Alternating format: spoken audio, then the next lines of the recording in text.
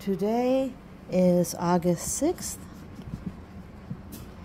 and we are six weeks old. Once again, I sacrifice my toes for the cause. As you can see, not a shy one in the bunch. Zosha. We have Zosha. Molly. Summer. And Vera.